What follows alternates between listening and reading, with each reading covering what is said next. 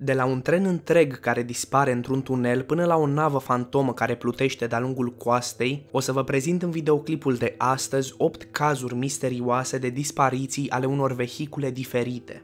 8. Zborul 739 Flying Tiger pe data de 14 martie 1962, un propulsator de superconstelație Lockheed L-1049 a dispărut de la baza forțelor aeriene Travis, având la bord 93 de soldați din unități ale armatei americane, 3 soldați sud-vietnamezi și 9 civili membri ai echipajului de zbor. Zborul a fost operat de compania aeriană Flying Tiger Line în scopul serviciilor aeriene militare. Avionul trebuia să ajungă în Saigon cu opriri de alimentare în Honolulu, insula Wake, Guam și Filipine. Cu excepția unor mici întârzieri, zborul a continuat conform planului până la penultima locație unde trebuia să oprească. Avionul a plecat din aeroportul internațional Guam cu suficient combustibil pentru un zbor continuu de 9 ore și jumătate, destul carburant pentru a ajunge în Filipine, care era la o distanță de 6 ore și 19 minute de zbor.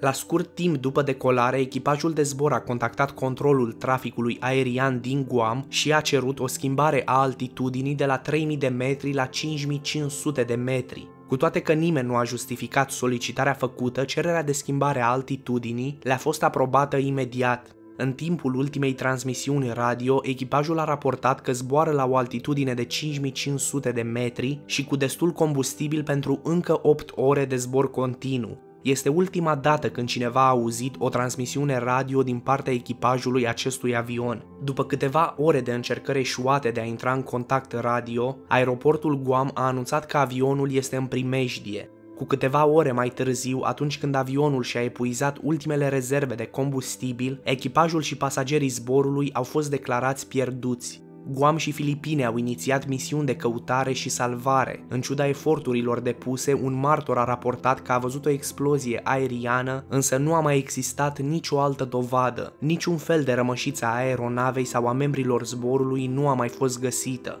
Înainte să vorbim despre numărul 7, nu uitați să apăsați butonul de like și să ne spuneți în comentarii dacă ați mai auzit astfel de povești cu obiecte dispărute. 7. Trenul fantomă Zanetti pe data de 14 iulie 1911, trei vagoane de tren Zanetti noi construite cărau 100 de pasageri. Echipajul trenului număra 6 membri, iar acesta a plecat din orașul italian Roma. Primul obiectiv turistic era un tunel construit recent cu lungimea de 1 km care străbătea munții Lombard. Trenul a intrat, însă nu a mai ieșit niciodată din tunel. Autoritățile locale și muncitorii feroviari au căutat multă vreme trenul, dar nu au găsit nicio urmă. Ei au descoperit însă doi pasageri bărbați care supraviețuiseră. Ei au explicat că au văzut din senin o ceață densă albă și un fum de nor negru care provenea din tunel. De îndată ce trenul se apropia de ieșire, acesta era consumat de ceață. Un supraviețuitor a declarat că primul vagon s-a rupt pur și simplu în bucăți chiar la intrarea în tunel, de aceea trenul a încetinit foarte mult până la punctul în care abia se mai mișca. Ultimul lucru pe care cei doi supraviețuitori și-l amintesc a fost că au sărit panicați din tren. Oficialii au închis apoi tunelul și la scurt timp a fost bombardat în timpul celui de-al doilea război mondial. S-au găsit mai târziu alături de alte descoperiri istorice declarații că mai mulți călugări medievali au văzut un vehicul format din trei vagoane care pufăia fum negru și care avea la bordul său mai mulți pasageri îmbrăcați la patru ace ce purtau de asemenea culori negre. Nimic ciudat până aici, doar niște oameni care au văzut trei vagoane care aveau la bord pasageri bine îmbrăcați. Dar este bizar faptul că pretinsa întâlnire a avut loc înainte ca tehnologia feroviară să fie inventată. Ce face lucrurile și mai ciudate este faptul că acest raport a fost ținut de o familie care se numea Sagino, același nume ca al ultimilor doi pasageri supraviețuitori. Registrul unui doctor psihiatru american din 1840 a relatat că 104 italieni isterici cu ținute stranii au fost internați într-un spital de boli mentale. Aceștia au susținut că sunt călătorii unui tren Zanetti din Roma. Grupul de oameni a fost diagnosticat cu isterie în masă. În octombrie 1995, un tren interbelic cu trei vagoane a apărut într-un sat mic din Ucraina numit Zavaliki. Un muncitor al căilor ferate a fost martorul apariției trenului, care nu era pe lista programărilor din acea noapte. Acesta s-a îndreptat în tăcere și fără să lase urme în munți. Se spune că trenul Zanetti a fost văzut și în India, România și Germania. Sunt mai multe teorii cu privire la dispariția trenului, inclusiv ideea că acesta a intrat într-o altă dimensiune sau că este prins într-o buclă a timpului, de aceea el a fost văzut în diferite cronologii ale timpului. Dacă călătoriți cu trenul, țineți ochii deschiși pentru că, în teorie, acesta poate apărea oriunde în lume. 6. Dispariția unei camionete cu remorcă. Într-o noapte din anul 2012, un bărbat din Australia, cunoscut doar sub numele de Mike, s-a întâlnit cu un prieten într-o suburbie a orașului Melbourne. El a ajuns acasă în jurul miezului nopții, iar pe șosea nu mai era nicio mașină. În timp ce se apropia de cartierul comercial, acesta a observat în oglinzile retrovizoare un vehicul care se apropia cu viteză. Lui Mikey s-a părut foarte ciudat ca cineva să se grăbească atât de tare. Acolo unde locuiește el, majoritatea șoferilor care au mania vitezei primesc amenzi usturătoare chiar dacă viteza maximă este depășită cu doar 3 km. Pe măsură ce se apropia de suburbie, Mike a identificat vehiculul care mergea cu viteză excesivă, fiind o camionetă mică care avea atașată o remorcă. Se aștepta ca șoferul nerăbdător să treacă chiar pe lângă el, însă atunci când s-a uitat în oglinda retrovizoare, vehiculul grăbit dispăruse. Crezând că mașina se află într-un unghi mort, Mike s-a uitat peste umăr în oglinda din dreapta, însă nu era nici acolo. Camioneta care înainta cu viteză a dispărut pur și simplu. 5. Vrăjitoria În decembrie 1967, un iaht lung de 7 metri care se numea Vraja a dispărut chiar pe coasta din Miami, chiar la marginea notoriului triunghi al Bermudelor. La cârma sa se afla proprietarul Dan Burok, care avea o experiență vastă în navigatul mărilor la bordul unui iaht. La bordul vasului se mai afla și prietenul său, Patrick Horgan. Cei doi plănuiau să vadă luminile de sărbătoare care urmau să fie aprinse pe malurile orașului. La doar 2 km în largul golfului Mexic, iahtul a lovit ceva, iar Burak a cerut ajutorul pazei de coastă din Miami. S-a raportat că tonul său era foarte calm, ceea ce nu este chiar surprinzător, din moment ce vasul era echipat cu un sistem de plutire care, în teorie, făcea ca acesta să fie de nescufundat. Carena părea să fie intactă, cu toate că iahtul avea nevoie să fie remorcat datorită daunelor provocate în urma coliziunii. Pentru a ajuta paza de coastă să-i găsească mai repede, Burak a spus prin radio că va aprinde un băț semnalizator. La 19 minute după ce apelul lui Burak a fost recepționat și în largul apei nu se putea vedea niciun semnal luminos, garda de coastă a pornit către locația transmisă prin radio a vasului, însă acolo nu era nici urmă de iaht, nici măcar resturi ale acestuia sau urme ale capitanului vasului și prietenului său. În următoarele zile, autoritățile locale au căutat într-un perimetru de 3100 de kilometri pătrați orice urmă a vasului sau al echipajului acestuia, însă fără niciun fel de noroc. Chiar dacă carena iahtului a fost găurită în urma impactului, sistemul de plutire al acestuia ar fi trebuit să-l țină la suprafața apei. De fapt, paza de coastă a interzis navigarea vaselor cu daune parțiale, care aveau același sistem de plutire cu cel al iahtului. Acestea reprezentau o amenințare pentru proprietarii lor și pentru celelalte nave care circulau în Golful Mexic. Ultima declarație a pazei de coastă cu privire la acest caz a fost că cei doi prieteni sunt dispăruți pe mare și nu pierduți. Deci ce s-a întâmplat cu vraja și cu cei doi bărbați de la bordul său rămâne un mister chiar și în ziua de astăzi. 4. Luanda 727 în luna mai a anului 2003, un avion Boeing 727-223, scos din funcțiune, a început să prezinte defecțiuni majore pe pista aeroportului 4 de Fevereiro din orașul Luanda, Angola. Cu luminile și sistemul de emisie defect, avionul nu putea efectua o comunicație stabilă între operatori și controlul traficului aerian. Avionul a decolat fără permisiune și s-a îndreptat către sud-vestul Oceanului Atlantic, iar acesta nu a mai fost văzut niciodată. Avionul care în trecut era folosit pentru liniile aeriene din America se afla în procesul de restaurare pentru a fi pregătit de zbor. Acesta era în grija companiei Aerospace Sales and Leasing din Florida. La restaurarea lui lucra un inginer de zbor și mecanic de aeronave certificat ce se numea Ben Padilla.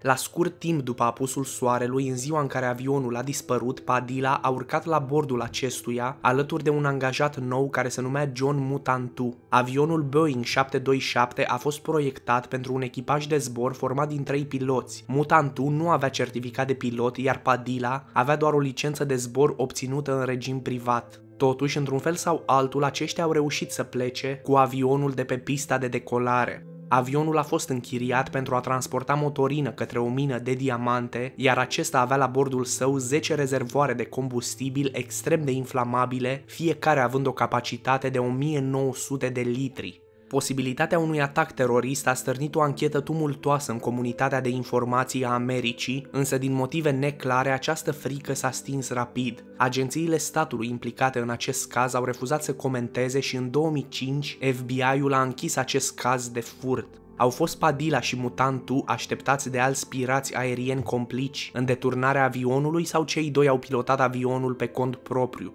Dacă răspunsul este da, atunci de ce? Au fost nenumărate teorii în jurul acestei dispariții. Muncitorii erau neplătiți la timp și alte incidente neclare care au avut loc în jurul avionului în acea perioadă. Mai era și frica care a pus stăpânire pe angajații și localnicii care credeau că noul venit Mutantu a fost răpit de o bandă infracțională. Însă doar aceste incidente singulare nu pot explica dispariția avionului în sine, așadar publicul larg nu va ști niciodată ce s-a întâmplat. Momentan sunt mai multe ipoteze cu privire la ce s-a întâmplat cu avionul. Poate că s-a prăbușit în ocean și s-a scufundat. A fost un zbor care susținea că avionul Boeing 727 a fost doborât de autorități deasupra Republicii Burundi din estul Africii ca mai apoi să fie dezasamblat și vândut pe piese. A fost cea mai mare aeronavă din istorie care a dispărut fără să lase nicio urmă, dar dacă cineva știe ce s-a întâmplat cu avionul, această informație este clar ținută secretă. 3. Vagonul 107462 în anul 2014, luna noiembrie, o companie numită Indian Potash Limited a rezervat un vagon dintr-un tren marfar care să transporte îngrășământ dintr-o locație în alta. Numai că, atunci când vagonul nu a ajuns la destinație, proprietarul conținutului a contactat firma feroviară care se ocupa de transport dar transportatorul nu a putut să urmărească ruta pe care a avut-o trenul. Compania Indian Potash Limited a contactat firma feroviară de mai multe ori pentru a aminti că vagonul închiriat de ei nu a ajuns niciodată la destinație. Trei ani și jumătate mai târziu, vagonul a fost în sfârșit localizat. Potrivit lui Sanjay Yadav, șeful relațiilor publice ale căilor ferate nord-estice din India, vagonul singuratic a fost găsit zăbovind într-o stație după ce probabil a trecut de nenumărate ori prin diferite stații fără să fie observat de vreun angajat. În conformitate cu politica feroviară cu privire la echipamentul ieșit din funcțiune, vagonul a fost dus într-un cimitir de trenuri. Yadav a încercat să dea vina pe faptul că expeditorul nu a confirmat nicio destinație pentru vagon. A declarat că după ce vagonul a ajuns în stația unde a fost și găsit, nimeni nu a venit să-l revendice. Șeful relațiilor publice a spus că serviciile feroviare au încercat tot timpul să găsească proprietarul conținutului din vagon pentru ca acesta să fie înapoiat expeditorului. Însă vagonul a fost găsit prea târziu și îngrășământul pe care îl transporta putrezise de mult. Așadar, proprietarul nu a vrut să-l mai primească înapoi, așa că a înaintat documentele necesare pentru a primi o compensație financiară de la compania feroviară. Dispariția vagonului a fost privită de ochii publici drept dovada neglijenței serviciilor feroviare din India, care de cele mai multe ori găsește o explicație rațională pentru dispariția vehiculelor voluminoase. 2. SS by Chimo după ce o scurtă perioadă de timp a servit ca navă comercială fiind dată către Marea Britanie, drept despăgubire în urma primului război mondial, vasul SS Baicimo a devenit proprietatea companiei Hudson Bay. A călătorit în mod regulat de-a lungul Oceanului Atlantic între Scoția și Canada, făcând posibil comerțul cu triburile inuiților. În 1931, Baicimo a fost înconjurat de sloiuri de gheață și a fost lăsat în urmă de echipajul său în timpul unei rute către Vancouver. Însă acesta nu a fost complet abandonat, iar echipajul a rămas în apropiere sperând să salveze marfa valoroasă, posibil chiar și vasul în sine. Dar aceștia au pierdut vasul din vedere în timpul unei furtuni și atunci când vremea s-a mai domolit, Baicimo dispăruse complet. Totuși, o săptămână mai târziu, vasul a fost văzut de un vânător inuit. Echipajul a fost anunțat și s-a grăbit să ajungă la bord pentru a salva bunurile pe care le transporta. Însă, Baicimo a fost avariat fără a se putea repara, astfel a fost abandonat pentru a doua oară. Vaporul a fost văzut de nenumărate ori de-a lungul deceniilor și a primit numele de corabia fantomă arctică. A fost văzut pentru ultima dată în 1969 în largul coastei din Alaska la 320 de kilometri nord de centrul arctic și 37 de ani după ce a fost abandonat. În cele din urmă, vasul a dispărut pentru totdeauna.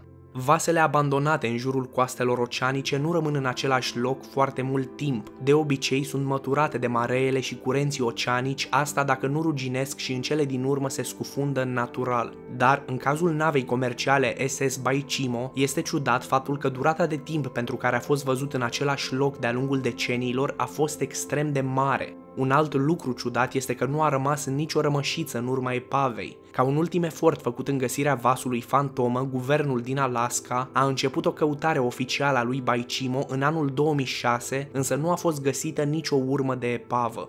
1. Mașina argintie dispărută. Dispariția vehiculelor în neant pare ceva surprinzător de comun potrivit numeroșilor utilizatori ai platformei Reddit. Unul dintre utilizatori este cunoscut ca Pixel Pants și a observat o mașină argintie condusă de o femeie care parca pe alea lui în timp ce spăla vasele. Această persoană uimită a spus că trăiește într-o fundătură unde nu este posibilă nicio manevră de a întoarce mașina. Crezând că șoferul s-a pierdut sau poate caută pe cineva să îl ajute să se întoarcă, Pixel Pants s-a dus afară ca să ofere ajutor persoanei aflate în bucluc. De-a lungul celor 10 secunde cât a durat ca el să iasă din casă, mașina argintie a dispărut. Absența vehiculului nu a avut niciun sens, chiar dacă șoferul a decis să dea în mașalier, pentru că cel mai probabil femeia nu ar fi avut timp să facă manevra într-un timp atât de scurt. Însă internautul nu a mai văzut nimic când a ieșit din casă. Nici o urmă de mașină, de faruri, niciun miros de gaze de eșapament sau fum ar fi trebuit să găsească cel puțin o urmă de praf sau fum, pentru că este foarte greu să pleci cu mașina așa rapid dintr-un loc fără să lași nicio urmă, mai ales dacă luăm în considerare faptul că ar fi trebuit să apese agresiv pe pedala de accelerație pentru a face manevra în cele 10 secunde.